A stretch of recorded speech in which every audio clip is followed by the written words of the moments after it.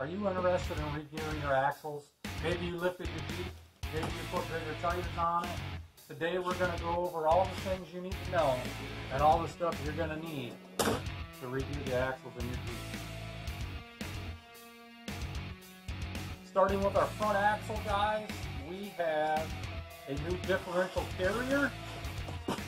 This is needed due to the gear ratio that the Jeep currently has in it to go up to our next gear ratio.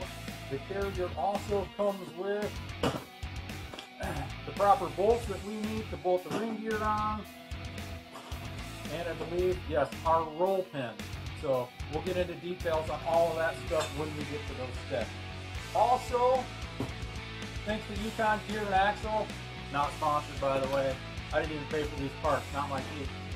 We have a master install kit. I will get you guys a close-up of this so you know what we have here in this master install kit because you will want one. Last but not least, we have our Yukon Gear axle ring and pinion. So these ring gears and pinion gears, folks, are all made as a pair. And I will show you a little bit of detail on that too up close. You should be able to look at these and find a stamping on them. This looks like it says 1012 on the end of it. And if I look on this gear set, it should also have a mark that says 1012. It's actually stamped in here. So 1012. These gears will also have the ratio on them. This does say 456 JK. Is very important that you buy gears for a JK if you're working on a JK or a TJ if you're working on TJ. Um, not all Dana 30s are the same. There's also a high pinion model. Uh, those were a lot in the Grand Cherokees, I believe. So it is important that you find out which gear set you need for what you're working on. We've got a JK, so we've got a set of JK gears. For the back, we have a new diff cover. Not necessary, but it is what the customer wanted. So really nice Poison Spyder diff cover. That way you can look good while you're pulling out all those pickup trucks, right? Again, uh, the same master, not the same master rebuild kit, a different master rebuild kit that has all of our bearings in it, gasket in it, crush sleeves, and again, we will get into more detail on the purpose of those things. And again, another gear set. I will check this gear set off camera to make sure everything matches up in it. Alright guys, before we get started, I did mute the audio on this so that way I didn't kill your ears as we go through here. So I took the axle nut off. Now I'm going to turn the spindle by putting my pry bar back behind the ball joints and on the caliper. That gives me access to these caliper bolts and will also slightly compress that brake caliper a little bit, making it easier to remove. Once all the bolts are out, I also want to pop a couple of these clips on the back side for the ABS sensor. That way it's no longer connected to my caliper hose back there. It was in the way a little bit. Now, if you've done this part of the job before, feel free to skip ahead. I'm just trying to do step by step for everything. Once that caliper's off, I'm going to hang it off of an S-hook. This is one that I've made out of some brake tubing. I just bent it up so that way I can hang my caliper from it so I'm not straining my hose. So once our caliper's off, we can pop our rotor out of the way. Then we were going to finish removing our ABS sensor. You see I've got it popped out all the clips, I got it disconnected from where it was attached to the hose, and the sensor goes behind the wheel well. Now with this aftermarket wheel well in here, I had a tough time getting it out of there. I wasn't able to photo that or video that, but you can see it's back in there. Use two hands, get your hand up inside the frame rail, and you can get it out of there. So now I highly recommend when you pull this wheel bearing to use the 12 point socket that fits on there. It's 13 millimeter, I believe, and I hammer it on there. Make sure you've got this thing hammered on there good and tight so you do not strip the bolts out. Now I use a half inch drive ratchet with a long handle from my folks over at Snap-on and an adapter. So this breaks these loose fairly easily. Just be careful that you do not round the heads over on these bolts because you will be upset when you go to try and remove them. Now there is three of them you'll have to get. When your socket gets stuck on there because you hammered it on, just thread the bolts in a handful of, a handful of times, finger tight, and hit it off with a chisel. So now don't take your hammer to this hub to remove it because you are going to damage the bearing. We need to get behind it with a chisel and the backing plate and tap around this thing to get it out. I have seen people go and put the bolts back in and use an air hammer on the back side of the bolts to pull them out. I've actually done it that way myself before. It does work just fine. Um, I feel this method's easier. Again, volume was muted so that way I could use my air hammer. I'm not going to sit there all day with a with a hammer and chisel if I don't have to. It does take a little bit longer to do it that way versus the air hammer. And I got one, so here we go. You can see the dust flying from the rust in this thing. And there we go. A little bit of finesse, work your way around, and you will have it eating out of the palm of your hand. Literally, right? So axle shaft did not want to separate from the wheel bearing. I didn't want to force it because I didn't have to. The axle shaft will pull right out of there as an assembly. So I like to loosen the fill plug before I ever take a diff cover off. That way, if I want to sand this thing and paint it, it'll come off easy. I know I'm not going to have an issue when I go to refill it because I can loosen the fill plug up already, so we'll be good to go. Now I took my impact, zipped all of the bolts out except for one or two of them on the top side. They are loose, but not all the way out. Go around, tap this with a hammer and chisel. Be careful not to damage the cover or the axle housing. Take your time, work it around a little bit. This had RTV on it and it was sealed in pretty good. Leaving those bolts in the top allows me to drain this thing without dropping the whole cover on the floor and throwing gear lube all over the place.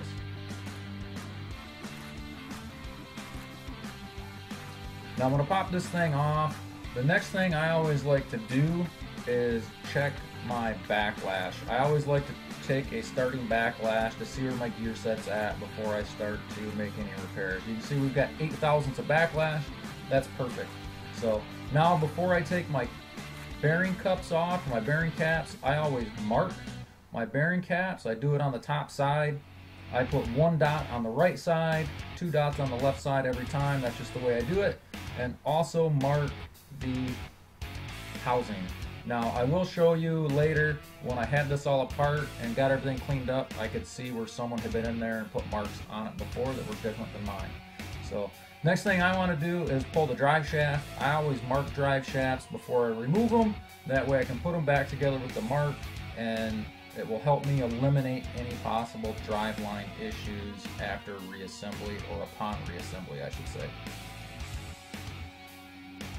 Once we get the four bolts out of this thing, it will slide right out of the way. I always like to check my U-joints while I'm there.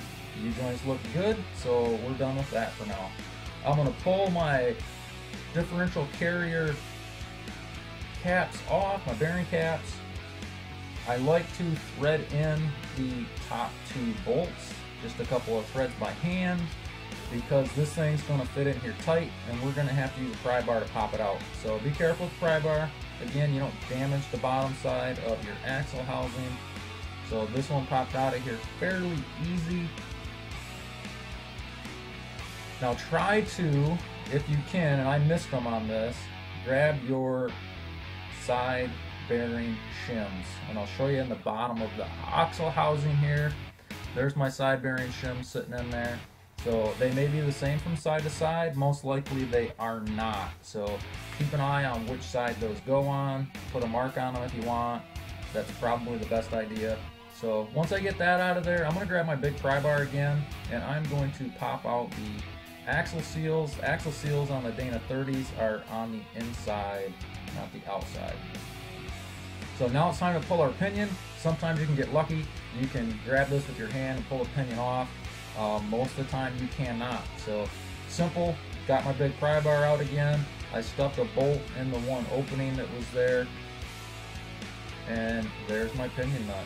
Now the pinion's not just going to come off, you're going to have to use a puller, possibly, or you can use an air hammer. So if I know it's a pinion that I'm not using, I don't mind banging on the end of it with my air hammer. I'm going to pop that seal out after my pinion is out. We do have some stuff underneath of here you need to pay attention to. So one of them being our oil slinger and our bearing. Both will be replaced. The crush sleeve stayed in there, and there's also a bearing cup that needs to be removed out of there. Next step for us is to disassemble our differential carrier. I'll try to do this as fast as possible for the video. Now I always leave a couple of bolts in there because that gear is somewhat pressed on when you put it all together. So one or two hits with a punch and it will come free. And now we can swap this gear off of here.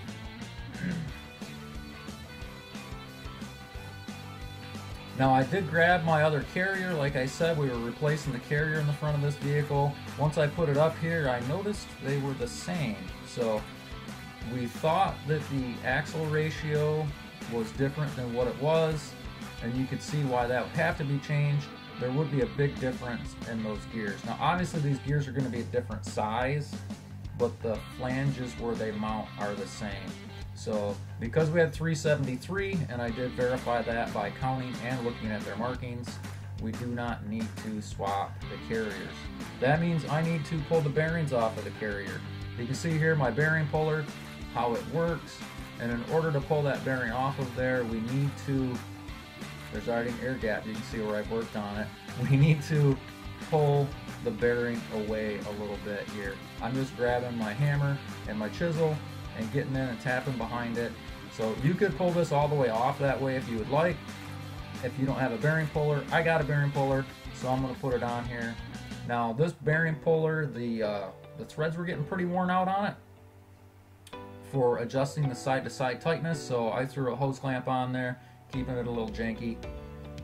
And there is our bearing. Now I did have to throw a socket in there, so I had something to push off of when it comes to our bearing install, we need to make sure that we do not do anything to that outer cage that's holding our roller bearings in place there. So this is the install tool for this Dana 30 front carrier. I'm just going to get it positioned here. You can see there's no bearing on the bottom and I'm going to send it with a hammer. trying to keep it easy for you guys. Could have put this in the press, but wanting to show a couple different ways to do it. So, and if you would like to see a method of doing it without having some of these tools, um, I go through some more of that on my Dana 44 build that I will link to this video. At this time, it's not published yet. So now when we flip this over, we need to make sure that we have the proper adapter on the back sides of it. You could use washers if that's what you had. Again, we need to make sure that we do not damage that bearing cage on the outside of that bearing. So I'm going to tap this one back in here with the hammer again. Not a whole lot to it. When I was working at the dealership, when I first started out, we didn't even have a press. This is how we did all of them. So now with that all set in there, I have got my pinion, or I'm sorry, I've got my differential gear on. I was trying to read that also. Um, I tightened everything up already. So that way it was pressed into place. Now I'm pulling the bolts back out. I'm putting Loctite on them and I'm going to torque them to the specs like you just seen on the sheet right there. Every gear set you buy generally will come with a spec sheet. I don't recall ever buying one before that didn't have the specs on it. So now that axle wasn't too bad. I was actually able to hold it and in place by hand and torque those down. I have had ones where I've had to put them in a vise, and that's what we do at the Dana 44. So air hammer again, going at it. I'm gonna remove this bearing cup, probably smash the camera with it. We'll see what happens.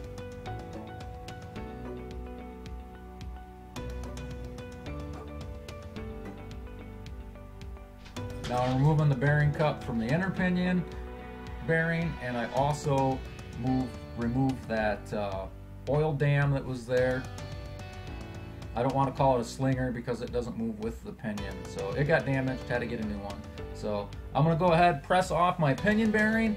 There is a shim under here which we will need in order to do our proper setup. So thankfully it pressed out, no harm done. There is our shim. So some of these shims you may be able to see writing on, others you will not.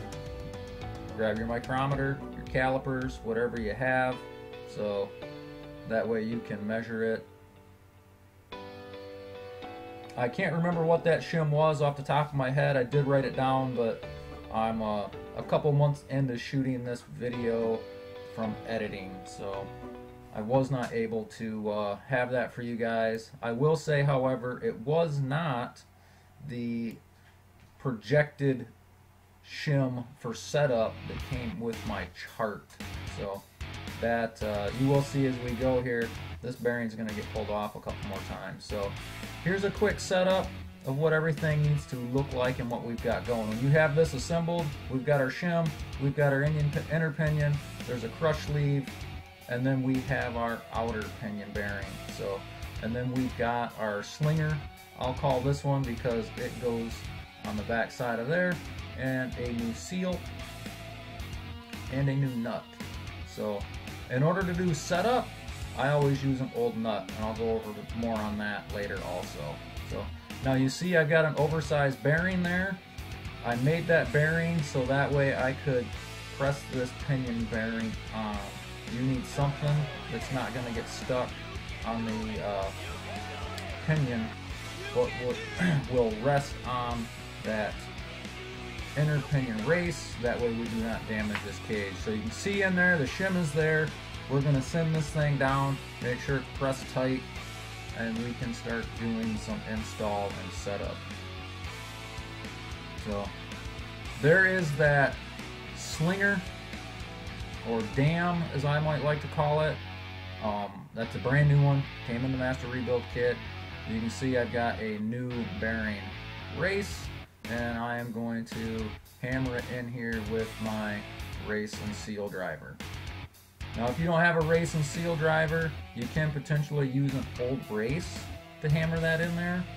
Uh, make sure you're doing something that is soft if you're putting anything on there. A brass punch, something made out of aluminum like these are. You don't want to use a steel punch and damage your bearing cup. So before we put all this stuff together, I like to do some pre-lube on it.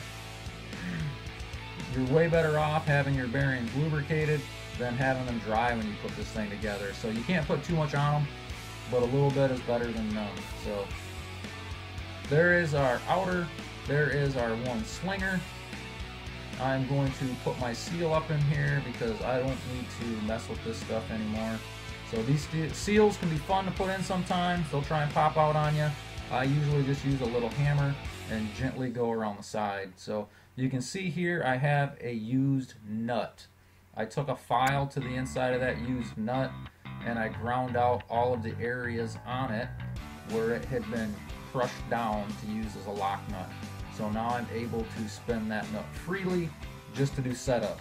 When we do our final assembly, that nut will have to be replaced. So in order to get our backlash and everything set on this, we need to snug that up by hand.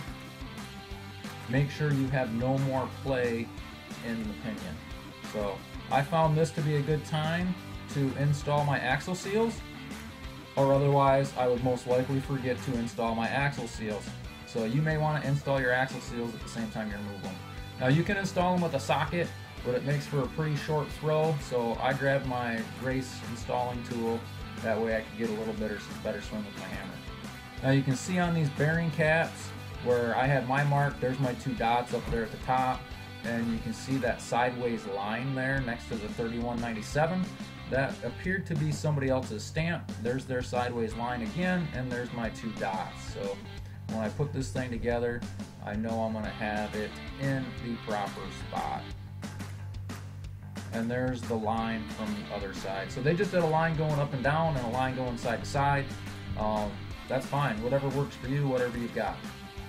So now this this axle I'm putting together right now with the same shims that I removed out of it. Um, you may need to take a wooden handle to tap it in there. Be careful. You don't want to eat on these with your hammer and damage them. So now I've got my caps in there. I've got them torqued down. I need to check my gear pattern at this point to see what I've got. Now, when you check your gear pattern, you want to make sure you load this ring gear. And when I say load the ring gear, it needs to be a little bit hard to turn. So go in both directions. If it's super easy to turn, you won't get a good squish of that gear marking compound between the teeth. Now, now I'm not happy with this gear mark I've got here. You can see I'm way into the inside and I'm way out on the outside. My heel to toe, I'm not happy with. So I'm going to take, set my pinion bearing back up in the press so I can press it out and I'm going to change pinion depth. So here's my sheet. My original pinion shim, 52 thousandths.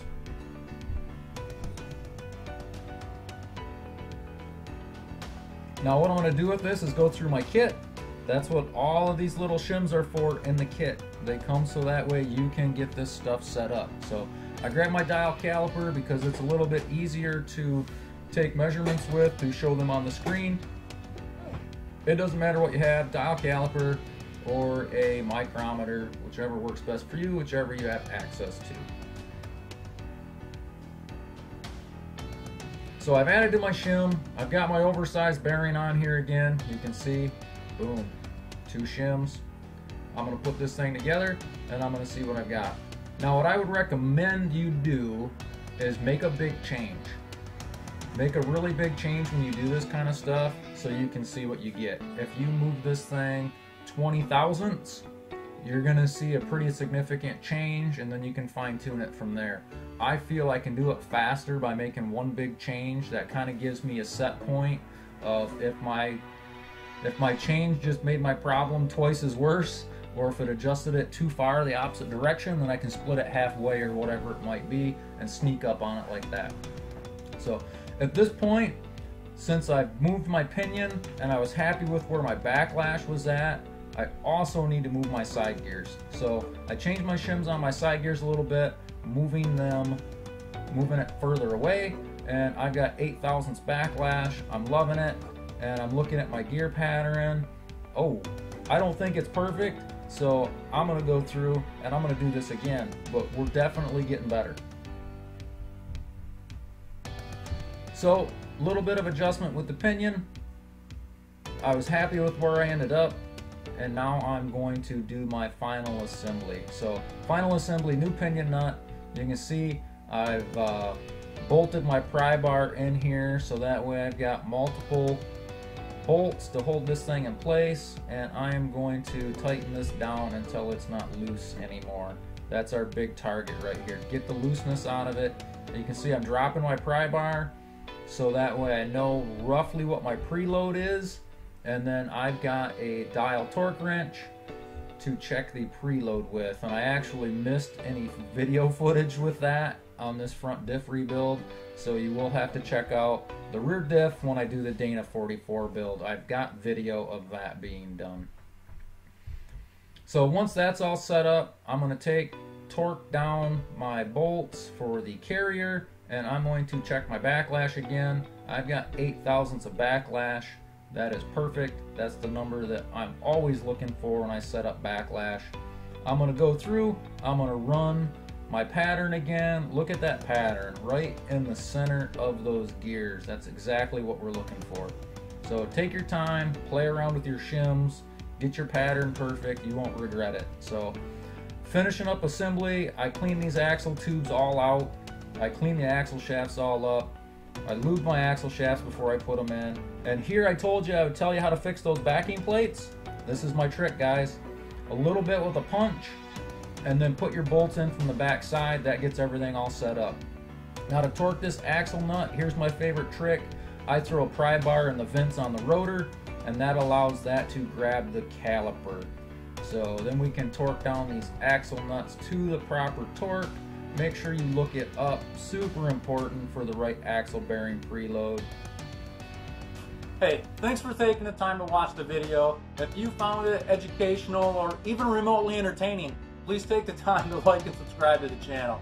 I know this video is missing some things. You'll find them in the Dana 44 rebuild, so check it out.